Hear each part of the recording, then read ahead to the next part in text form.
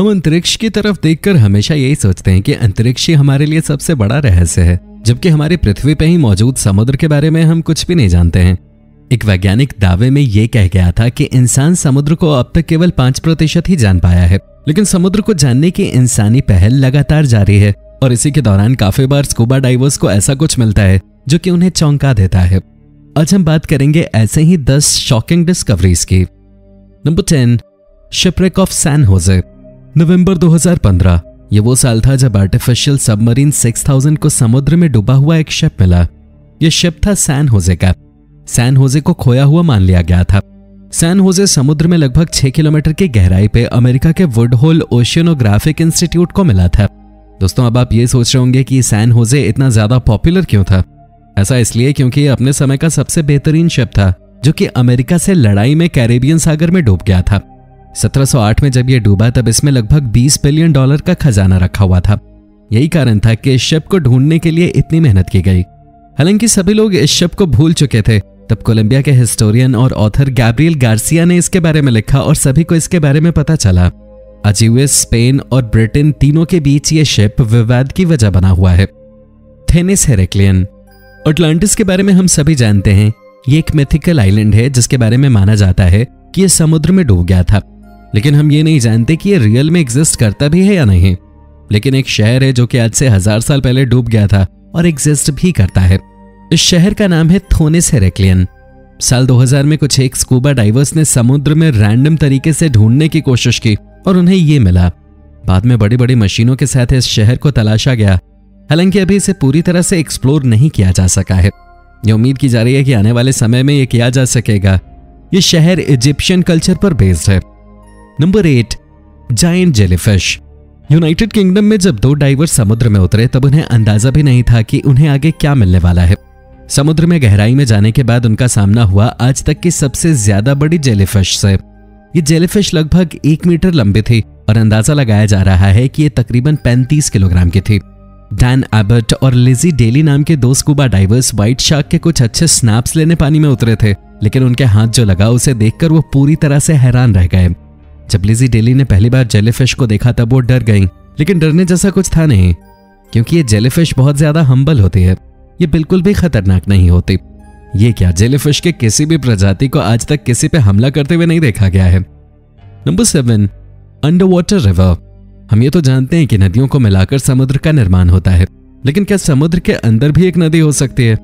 Diverse हमेशा इस बात के लिए तैयार रहते हैं कि वो समुद्र में किसी भी वक्त कुछ भी यूनिक ढूंढ सकते हैं। पेनिनसुला में मिली ये नदी, इसी बात का एग्ज़ाम्पल है। वैसे अब आप सोच रहे होंगे कि आखिर समुद्र के अंदर नदी कैसे हो सकती है। दोस्तों, जब एक ही जगह पे दो तरह की डेंसिटी के पानी होते हैं, तब वो लेयर्स बना लेते हैं, जहाँ पर भी अंडर वाटर रिवर होती है, वहाँ ऐसा ही होता है। पेनिनसुला में मिली ये नदी हाइड्रोजन सल्फाइड की बनी है, और इसके ऊपर मौजूद ये पानी फ्रेश वाटर है। इस नदी में मौजूद हाइड्रोजन सल्फाइड इसे एक शानदार लुक देता है, जिसे इंटरनेट पे काफ़ी लोगों ने पसंद किया है। वैसे आपको बताते चलें कि रिवर में कुछ केव्स भी हैं, जो कि इसे काफ़ी मिस्टीरियस वाइब्स देती हैं। Number six US fighter plane समुद्र के अंदर डूबी हुई चीज़ें भी हमारे इतिहास का एक ज़रूरी एस्पेक्ट होती हैं। इसी का एग्ज़ाम्पल है यूएस का ये फाइटर प्लेन ये प्लेन तब डूबा था जब यूएस ने जापान के नेवल पोर्ट पर जाकर हमला किया था। ये जिस जगह पर मिला है, उस जगह का नाम है माइक्रोनेशिया विश्व युद्ध के दौरान लगभग 230 एयरक्राफ्ट अलग अलग समय पर डूबे, जिनमें से 200 से अधिक जापान गए थे। इस फैक्ट से आप अमेरिका की ताकत का अंदाज़ा लगा सकते हैं। इस दौरान अमेरिका के भी 30 एयरक्राफ्ट गिराए गए। हालाँकि इस शिप से भी ज़्यादा इंटरेस्टिंग है वो तरीका, जिसके ज़रिए स्कूबा डाइवर्स ने इस एयरक्राफ्ट को ढूंढा था। जब उन्होंने इस एयरक्राफ्ट को ढूँढने की ठानी, तब उन्होंने अलग अलग जगह ढूंढा, उन्हें एयरक्राफ्ट नहीं मिला। उसके बाद उन्होंने एक ऐसे व्यक्ति की मदद ली, जिसने एयरक्राफ्ट को डूबते हुए अपनी आँखों से देखा था। नंबर फाइव गोल्ड ट्रेजर हम हमेशा ये सुनते आए हैं कि समुद्र के अंदर बहुत सारा खजाना छुपा हुआ है, लेकिन ये खजाना है कहा? इस बात का जवाब तो जवीका फेयर ही दे सकते हैं। ये और इनकी टीम इसराइल के तट के पास स्कूबा डाइविंग कर रहे थे, तभी उन्हें 2000 गोल्ड कॉइन्स मिले। हैरानी की बात यह है कि जिस जगह जुवीका को ये कॉइन्स मिले, वहाँ वो पहले भी डाइविंग कर चुके थे। डाइविंग के वक्त उन्हें कुछ चमकता हुआ दिखा, उन्हें लगा शायद चॉकलेट का कवर है। लेकिन जब उन्होंने पास जाकर देखा तो सोने के कई सिक्के उन्हें लगातार मिलते ही गए। उसके बाद वो अपनी टीम को लेकर आए और लगभग 2000 गोल्ड कॉइन्स लेके गए। Number four Yonaguni Jima city ruins अगर आपको समुद्र में शहरों के मिलने वाली कहानियाँ अच्छी लगती हैं तो इस पॉइंट को ध्यान से सुनिएगा। ये एक रियल घटना है जिसके दौरान डाइवर्स को योनागुनी जिमा नाम का एक शहर समुद्र के अंदर मिला। उन्नीस सौ छियानवे में जापान के समुद्र के पास मिले शहर के बारे में कोई कुछ भी नहीं जानता था। शहर के खंडहर लगभग 5000 साल पुराने हैं और इनमें बड़े मैदान हैं, मंदिर हैं, पिरामिड हैं और ये सब सड़कों से जुड़े हुए हैं। ऐसा माना जा रहा है कि यह शहर पैसिफिक सिविलाइजेशन द्वारा छोड़ा गया हो सकता है, और तो और इसे अटलांटिस से भी जोड़कर देखा जा रहा है। हालाँकि अमेरिका और जापान के समुद्री तटों से कुछ दूरी पर मिले ये 5000 साल पुराने अवशेष किसी एडवांस्ड सभ्यता को इंडिकेट कर रहे हैं। Number three the Orda cave scuba divers को डाइविंग करना जितना पसंद होता है, उससे कहीं ज़्यादा पसंद होता है उन्हें समुद्र में केव्स को एक्सप्लोर करना। हालाँकि ये काफ़ी खतरनाक भी हो सकता है इसलिए अक्सर इसे डाइवर्स करने से बचते हैं। लेकिन कई बार केव्स में उन्हें लाइफ टाइम अचीवमेंट भी मिल जाती है। ऐसा ही एक केव है ऑर्डा केव रूस में मौजूद ये केव अब तक की सबसे बड़ी अंडर वाटर केव है। साथ ही दुनिया की सबसे अंधेरे वाली जगह भी है।